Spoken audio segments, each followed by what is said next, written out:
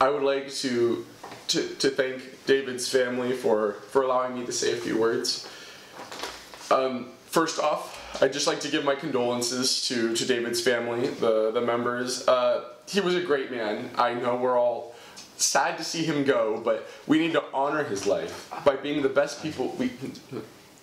It, it, it, it's not a fu- funeral?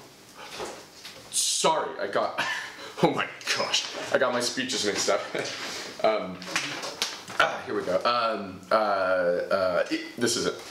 We are gathered to congratulate David on his marriage. Oh man, I always knew he was a catch. Why, growing up with David, which I certainly did, uh, all the girls were passing notes to him, trying to get his number. he was such a gentleman. He's, he's, he's not get.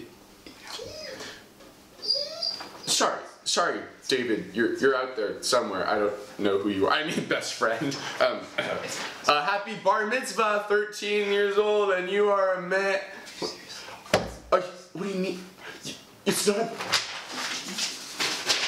Happy 50th birthday. You're halfway to the big one.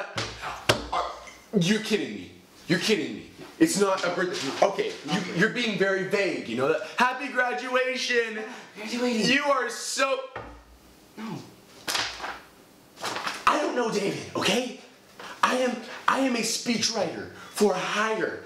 I, I just come here to, to, to talk, okay? So will you please just just tell me what what we're celebrating for David so I can I can say the right things?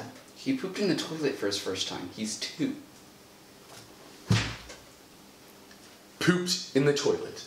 Yeah. And you're having a party for you hired a speechwriter to for That's weird. You're weird.